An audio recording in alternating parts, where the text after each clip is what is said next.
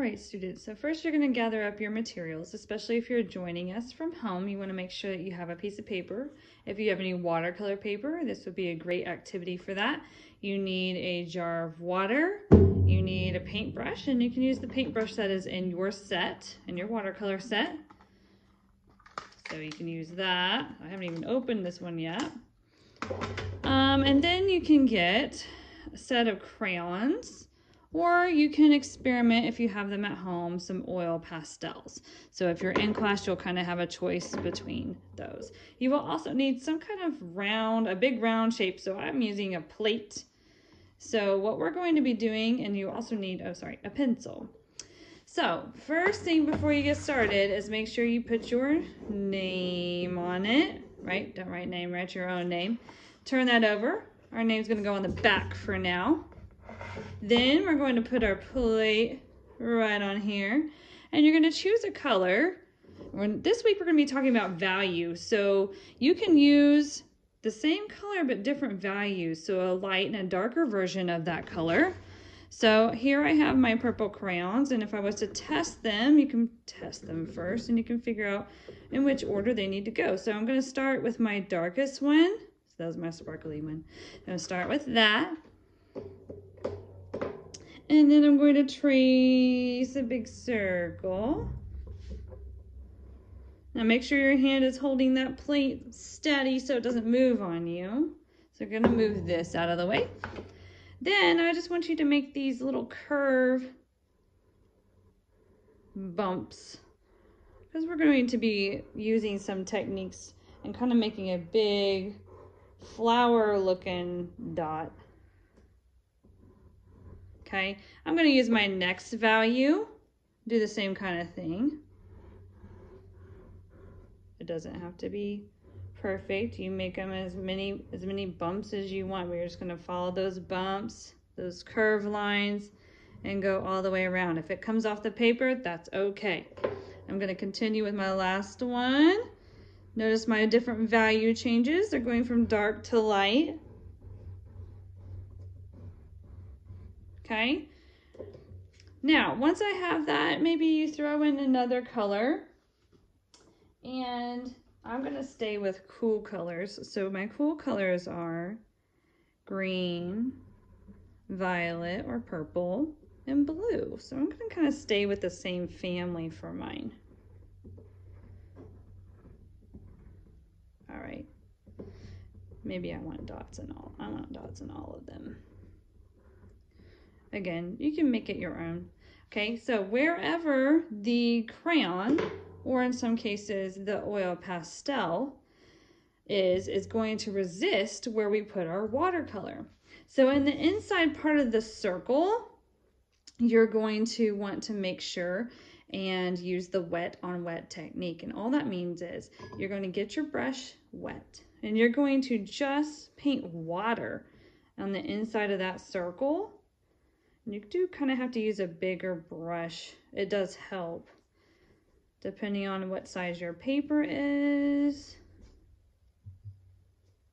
So I'm trying to stay within that boundary and add water. Now, once my water is on there, then I'm going to come and liven up the colors that I want to use. And I want to stay with the same color family. So I'm going to put it in green, blue, and purple. Okay, I added water first by dropping it. I'm give it a little scrub and then I'm to drop it right in.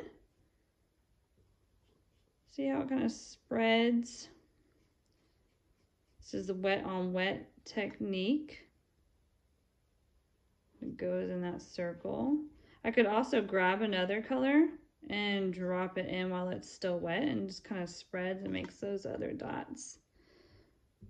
My purple wasn't quite there we go. You can mix it if you want. It doesn't have to be all one color. If it starts to dry, you can always go back and add more color, more wetness, but you're gonna get this tie-dye looking effect. See? And I have my dots, my swirls. Okay, then you're going to let that, let that dry a little bit. And then you're also going to paint that outside edge. So while that's kind of drying, you can come around and make leaves, curve line to a point, another curve line back, and then add some of those leaf veins, the texture of the leaf. And you can do more than one in an area. Have some overlapping. You can have more than one leaf. You have a really big one over here. You just add some other things around the edge of your paper while that's drying. Then to finish off your piece, you're going to add some more of your colors. So I think I'm gonna add some blue. Now, if you are using crayon, you're going to have to press pretty hard on your lines. Oil pastel naturally has a lot of pigment, so let's say I was using this instead. This, see how the difference is between the intensity of the color? So wherever I put that color, it's going to act as a barrier for that watercolor. So for example, I can paint right over it and it will not cover my lines. Okay, that was just an example. All right, so, and the, the crayon will do the same thing. There's just not as intense as the oil pastel. So you can still do this at home if you have crayons. If you have oil pastels, use those. So you're gonna paint the whole thing for our dot day. See how it's kind of pooling in the middle?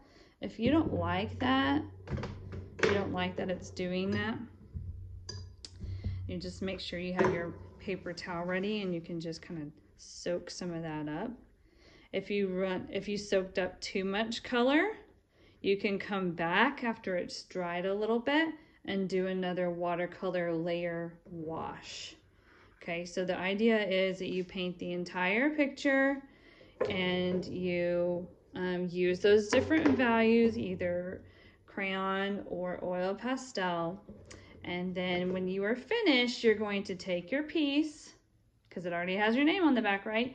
And you're going to take your piece over to the drying rack and let it dry, and we will um, we will pick them up tomorrow. Okay? All right, let's get started. It is time to create. I am calm. I am respectful. I am encouraging. I am attentive. I am talented. And I can enrich the world with my art. Let's get started.